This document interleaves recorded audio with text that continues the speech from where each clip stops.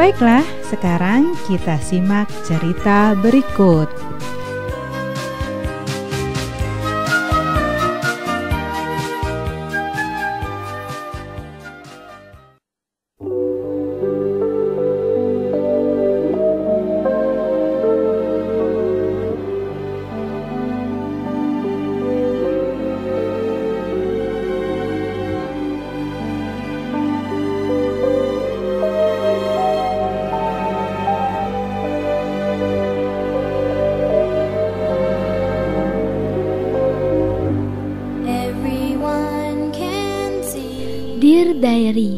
Hari ini aku ketemu sama Aldo di perpustakaan. Dia senyum sama aku, manis sekali. Ke mana aja ya aku selama ini? Kok baru sadar kalau Aldo sangat menawan. Diary, aku sudah kenal Aldo dari SD. Sering kerja kelompok bareng, pulang bareng, ketawa bareng, Bahkan kalau mama nggak bisa jemput aku, aku bakal dititipin sama uminya Aldo. Terus aku pulang ke rumahnya, nungguin mama jemput. Sambil nunggu jemputan, banyak yang kami kerjakan.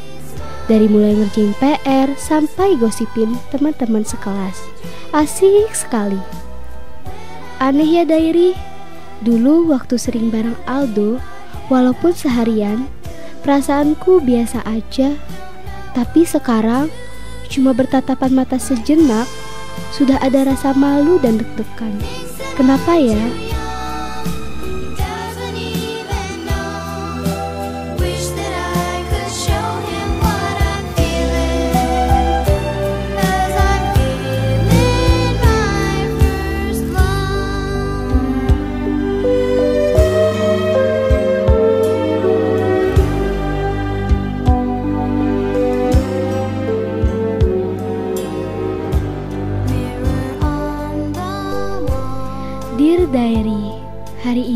Aku senang karena tadi di sekolah ada pelajaran kesukaanku, IPA Biologi. Apalagi materinya berasa pas banget sama yang lagi aku rasain. Materinya yaitu sistem reproduksi pada manusia. Jadi Diary, rupanya yang buat perasaanku berubah sama Aldo sekarang ini adalah karena pengaruh hormon reproduksi yang mulai berkembang di tubuhku. Kelenjar reproduksi yaitu ovariumku yang mulai berkembang saat aku mencapai usia remaja. Sudah mulai menghasilkan sel telur atau ovum dan hormon-hormon. Namanya hormon estrogen dan progesteron. Jika sudah mulai tahap ini, maka seseorang sudah dikatakan memasuki masa pubertas, yaitu usia sekitar 12 tahun.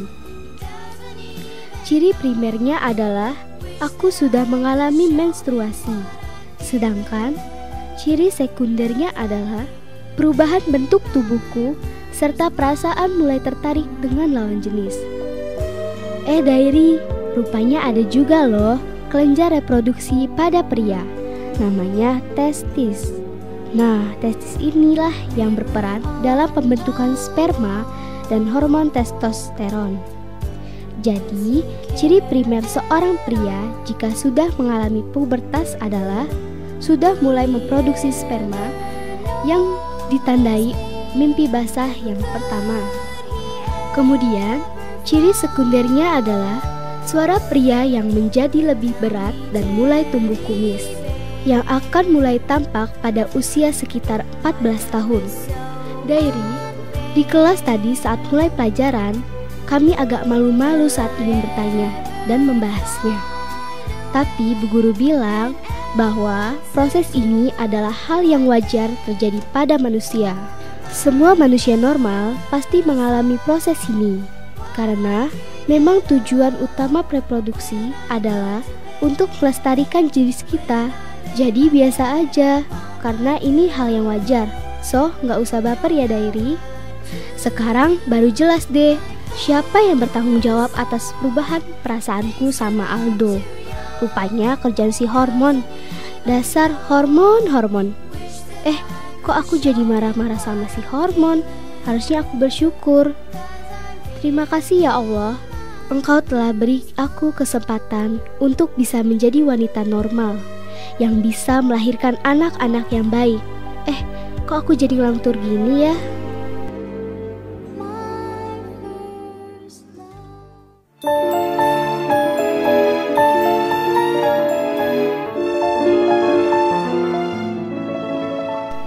Insan Edukasi, berdasarkan cerita tadi kita ketahui bahwa kelenjar reproduksi pada wanita adalah ovarium.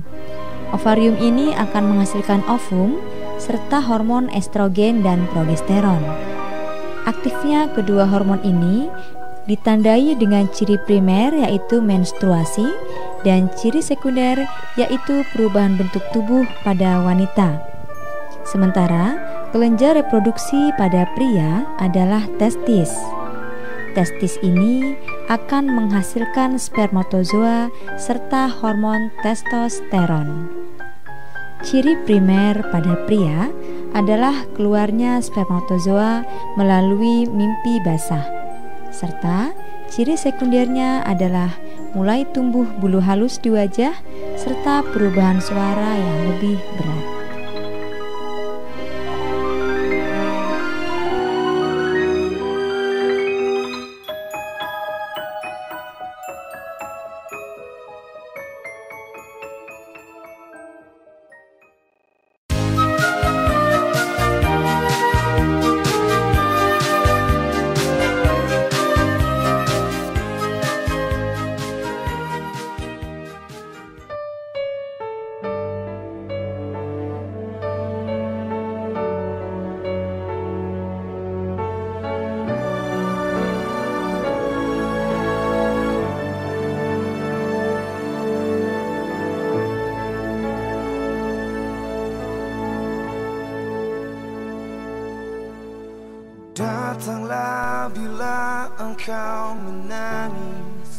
Dear Diary, hari ini aku belajar serius.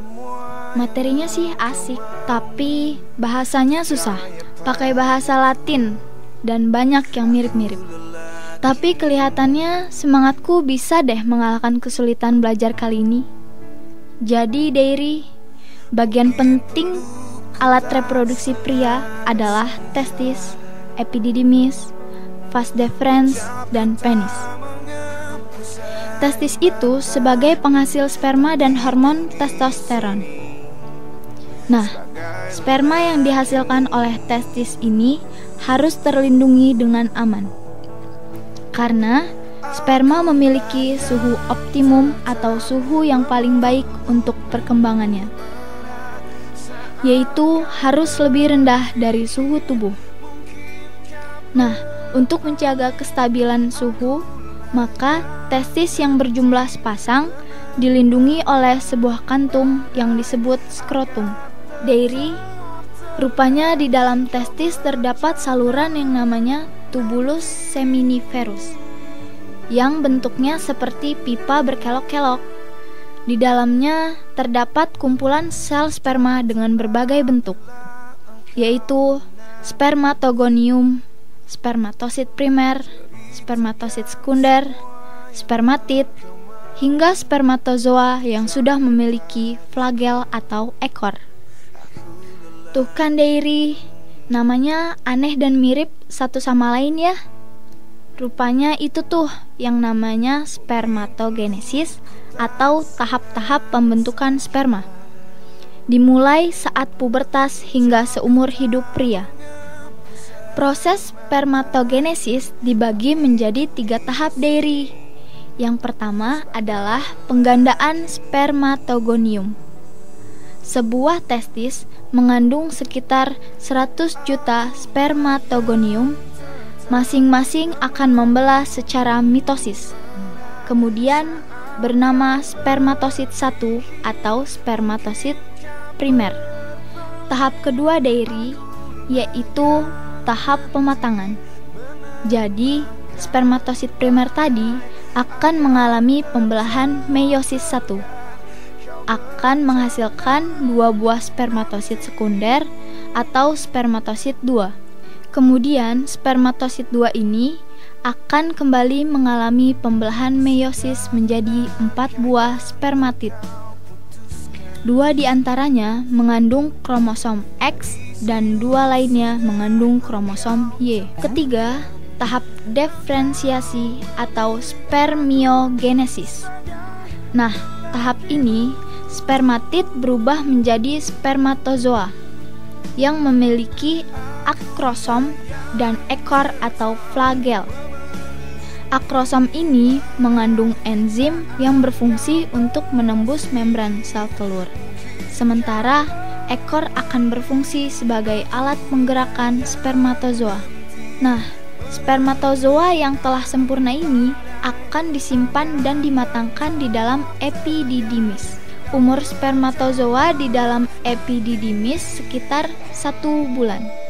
Kemudian dari epididymis, spermatozoa akan melanjutkan perjalanan melalui sebuah saluran yang bernama vas deferens yang panjangnya sekitar 50 sampai 60 cm.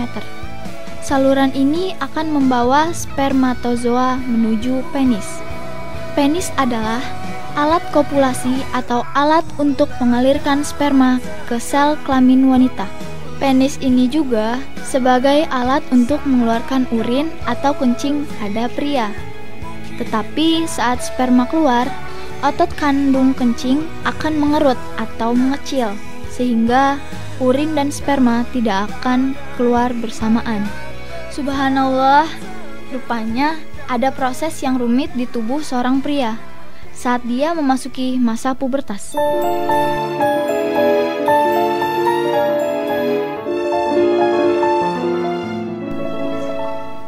Insan edukasi, organ reproduksi pada pria adalah testis, epididymis, vas deferens, dan penis.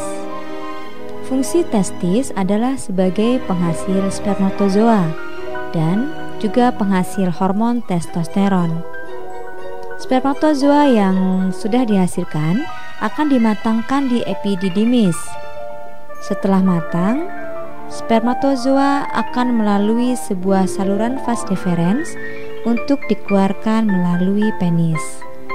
Penis merupakan alat kopulasi atau alat untuk mengalirkan sperma. Penis ini juga sebagai alat untuk mengeluarkan urin atau kencing.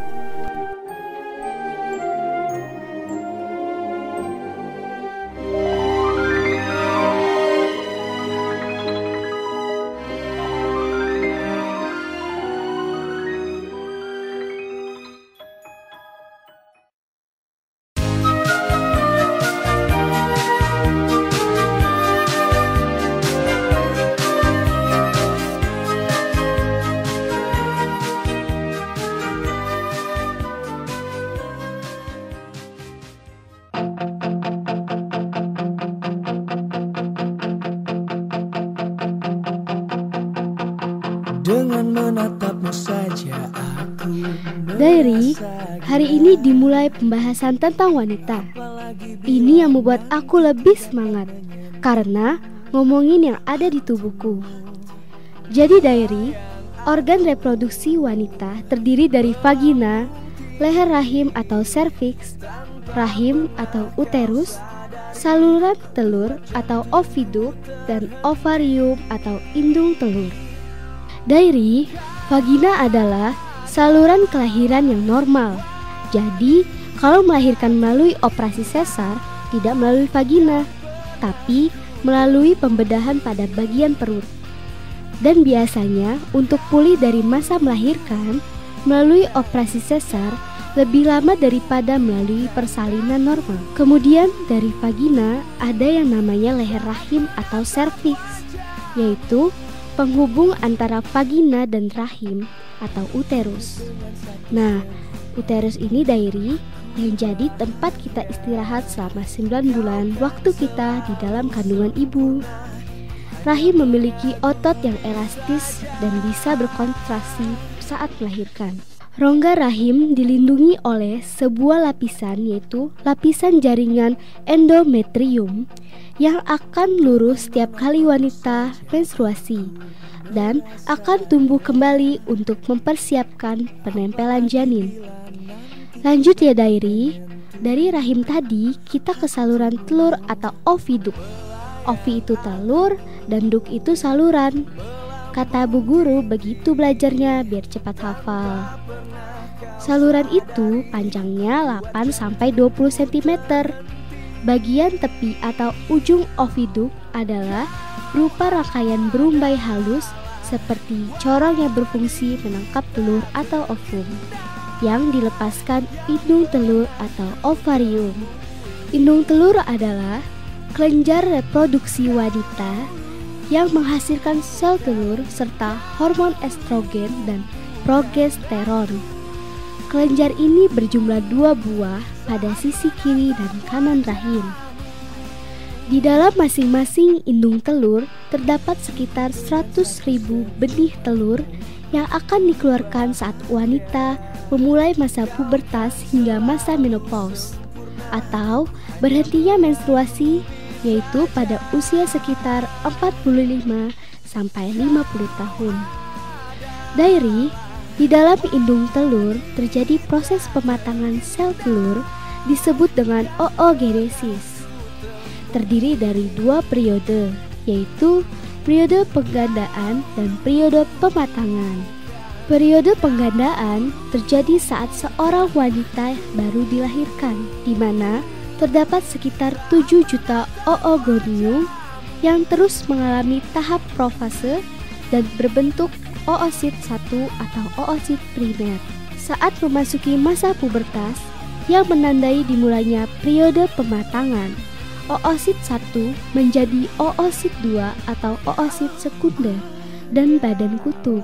Lalu diakhiri dengan pembentukan ovum dan badan kutub 2. Dari Selama masa pematangan sel telur, hormon akan menyebabkan siklus menstruasi di endometrium. Menstruasi adalah peristiwa keluarnya darah dari vagina.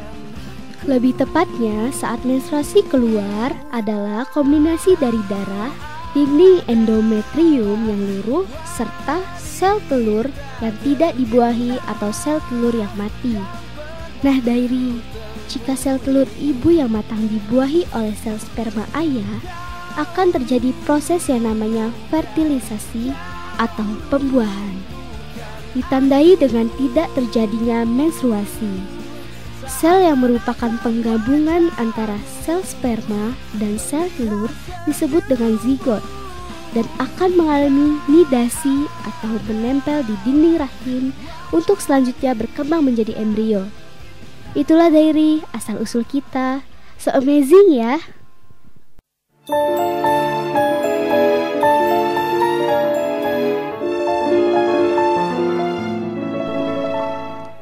Insan edukasi Berdasarkan cerita di atas, kita mengetahui bahwa alat reproduksi pada wanita adalah vagina, leher rahim atau serviks, rahim atau uterus, saluran telur atau oviduk, dan ovarium atau indung telur. Ovarium akan menghasilkan ovum rata-rata satu buah setiap bulannya. Saat ovum mencapai oviduk, jika tidak dibuahi oleh sperma, maka ovum akan mati dan luruh bersama dinding rahim atau endometrium. Peristiwa ini dikenal dengan nama proses menstruasi. Sementara jika ovum mencapai oviduk dan dibuahi oleh sperma, maka akan terjadi proses fertilisasi atau pembuahan.